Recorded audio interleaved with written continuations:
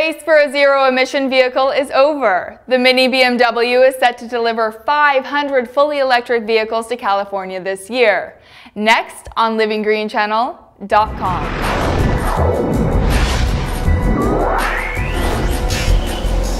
Hey everyone, I'm Elizabeth Chambers and you're watching livinggreenchannel.com, your source for living an eco-friendly lifestyle. Fuel-efficient smaller cars have become all the rage lately because consumers are looking to save money on gas and help the environment. Leading the small car pack is BMW's Mini division, which sold out its entire stock of Mini Coopers in 2008 due to increased demand.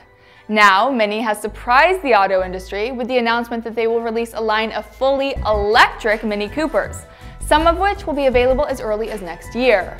The Mini Cooper E will have a 150 mile range before the car needs to be recharged, and features a regenerative braking system that preserves power while driving in the city. Owners of the car will be able to recharge it in just three hours when using the quick charge kit Mini will provide, or it can charge overnight by plugging it into a conventional wall socket. For anybody who's skeptical about the power of an EV, the car has some real kick with a 0 to 60 time of just over 8 seconds and a top speed of 95 miles per hour.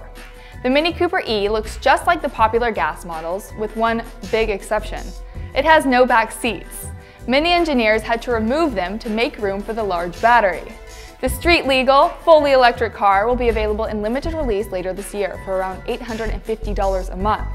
Only 500 Mini Cooper E's will be available for lease to drivers in California, so sign up now and get on the waiting list if you're interested.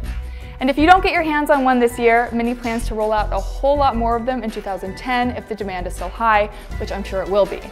I'm Elizabeth Chambers. Check back here for more eco-friendly news and tips right here on livinggreenchannel.com.